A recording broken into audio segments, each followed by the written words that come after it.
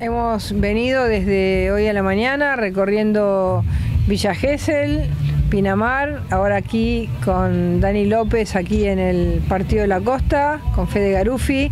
Eh, estamos absolutamente eh, convencidos que tanto Villa Gesell como el Partido de la Costa están para, para un cambio eh, están sufriendo mucho el tipo de gobiernos que tienen. En el caso del Partido de la Costa, tantos años del mismo gobierno que realmente eh, ha generado un deterioro enorme, que te lo dice cada uno de los vecinos con los que te cruzás, el hospital, el agua, el agua, eh, la falta de agua corriente, los enormes problemas que hay. así que bueno, los, los problemas que tiene las distintas ciudades del Partido de la Costa, eh, los tiene muy claros Dani, con lo cual estamos convencidos por lo que hemos visto que vamos a poder ganar esta intendencia. Pato, eh, queríamos preguntarte, la provincia de Buenos Aires es un distrito difícil para todos, inclusive hasta el oficialismo. ¿Cómo lo ven ustedes desde su sector? Es difícil para Kicillof. ¿Nada más? Bueno, puede hablar, puede hablar Néstor. Bueno, eh, es un gobierno que se alejó de la gente, ¿no? Está lejos, eh, no está pensando en los problemas de la gente, así que la gente no lo va a acompañar. Nosotros simplemente nos acercamos, escuchamos y, tratamos de proponer soluciones. Y eso es lo que, lo que el bonaerense está esperando, que alguien le explique cómo podemos salir de esto y que además muestre la voluntad y el coraje para llevar esas transformaciones adelante. Gabriel Blumenkranz de Encuentro FM Las Toninas. El tema seguridad en el Partido de la Costa fue decreciendo a medida que la gestión de los de Jesús y hoy Cristian Cardoso eh, se prosternaron en el tiempo qué proyecto tienen al respecto para la región, porque acá la gente está cansada, sobre todo de la seguridad solo para los operativos Sol, que son una maqueta armada por el ministro de Seguridad de la provincia. ¿Cuál es el proyecto de seguridad para la región? Bueno, ustedes saben que si algo nosotros logramos fue eh, darle seguridad a los argentinos cuando a mí me tocó ser ministra de Seguridad y Ritondo fue también ministro de Seguridad de la provincia de Buenos Aires. Eh, con lo cual, lo que estamos planteando es con, Dani eh, trabajar un proyecto específico de seguridad para el Partido de la Costa que es necesario, digamos, trabajar sobre un modelo de policionamiento, un modelo de monitoreo, un modelo de, alarma eh, y vecinos en alarma, como tienen el municipio de San Miguel, que bajó el 70% el delito, eh, y también Lanús, que bajó el delito a partir también de la incorporación de nuevas herramientas, como las nuevas pistolas Virnas, que son como las Taser. Así que la idea es que la experiencia que ya se tiene en los municipios, que yo he tenido como ministra eh, de Seguridad, eh, lo volquemos en este plan de seguridad especialmente diseñado para el Partido de la Costa, así que eh, va a ser un, plan, como ustedes saben, muy serio. Nosotros tenemos objetivos claros, defendemos a, los vecinos, a la ciudadanía, tenemos, eh, defendemos a las víctimas y somos estrictos con aquellos que violan la ley. Eh, Avi del canal 5 San Clemente del Tuyú. Cuando hablando, siguiendo el tema de la seguridad, usted en su plataforma dice que tiene que tener mano dura. Eh, ¿A qué se refiere? Bueno, en ningún lado en la plataforma yo hablo de mano dura, porque es una, es una expresión, no, no, no es una expresión para una plataforma.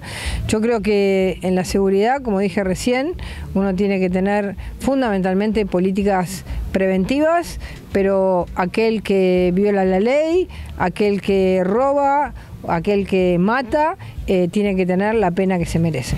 Bueno, cada vez que vengo al Partido de la Costa, esta es la tercera vez que vengo, eh, me cuentan exactamente lo mismo, que hay una maqueta de hospital que es muy lindo, lo vi, eh, tuve la posibilidad de verlo, pero que es como una mentira, porque está totalmente vacío, no tiene ni el personal, ni tiene las, la, tecnología eh, que tiene que tener. Es decir, que frente a, recién me contaban en la calle, que frente a un embarazo se tienen que ir para un lado, frente a una operación se tienen que ir hasta Mar del Plata. Eh, me encontré con un porteño que tiene casa en Buenos Aires y acá y me decía, yo quiero venirme a vivir acá porque quiero, me gusta vivir acá, pero no quiero, no vengo hasta que no haya salud. Con lo cual creo que el compromiso que, tiene nuestra fuerza del cambio aquí, Dani López y todo el equipo, es que ese hospital no sea una cáscara vacía, que realmente los ciudadanos tengan eh, la atención que merece eh, y la salud, ustedes saben, es un derecho humano igual para todos. No puede haber salud de primera, salud de segunda, personas que vivan en, ciudades como, las que, en las que estamos y tengan un hospital sin nada. Eso es, eh, reciben, ustedes saben que reciben dinero, mucho dinero por el hospital, ¿y dónde va ese dinero? Habrá que preguntárselo. Sabemos positivamente, Patricia, eh, la gente del PAMI que prácticamente la derivan a otros lugares en vez de atenderlos acá, porque no hay medios. Exactamente, bueno, pero Dani conoce perfectamente la problemática eh, y, en consecuencia va a trabajar, si la gente lo elige, va a trabajar para que esta situación eh, se revierta y los ciudadanos puedan sentirse seguros porque tienen un hospital que está cerca pero que no tiene nada y, que va a poder tener lo que tiene que tener. Patricia, eh, eh, le quería preguntar porque eh, si va a haber un cambio de gobierno sobre el fin de año, si la gente los elige, ¿qué medidas en lo económico piensan tomar a corto plazo? Ni bien asuman, porque se vienen las fiestas, viene un momento complicado y la gente realmente la está pasando muy mal. Bueno, en primer lugar, este gobierno todavía tiene cosas para hacer porque está tirando todo para adelante, pero nosotros vamos a trabajar muy rápidamente en tener un, presupuesto equilibrado para poder empezar a bajar la inflación, que es el problema más importante que tenemos. Hay que dejar de emitir, hay que dejar de hacer perder valor al dinero de los argentinos, tenemos que bajar la inflación, tenemos que lo más rápido posible sacar el cepo para poder producir, para que pueda entrar capital, no solamente el, capital de afuera, sino el capital de los argentinos. Eh, es necesario poder tener seguridad jurídica y vamos a trabajar muy fuerte para bajar la inflación y para que aumente la inversión, porque si, con inversión aumenta el empleo. Esas, esas van a ser las bases primeras. Un Banco Central independiente, autónomo del poder político, van a ser las primeras medidas que vamos a tomar. Mi nombre es Antonieta del diario del Tuyú Noticias. No le voy a hacer una pregunta con respecto al partido de la costa, pero sí que tiene que ver con las pasos y con que usted las gane. Eh, quiero conocer cuál es su opinión con respecto a lo que hizo eh, el hoy gobernador de la provincia de Jujuy, Gerardo Morales, con respecto a que reformó la constitución entre gallos y medianoche, como dice el refrán, este, y con respecto a la represión que se ejerce todavía actualmente en Jujuy. ¿Por qué? Porque, bueno, de ganar este, su adversario, la Reta, Gerardo Morales, sería vicepresidente. No sabemos si esas mismas medidas que llevó en Jujuy las puede llevar a todo el país. Por eso quiero conocer su opinión y cómo se manejarían ustedes. Bueno, en primer lugar, eh, no coincido con, la descripción que usted hace.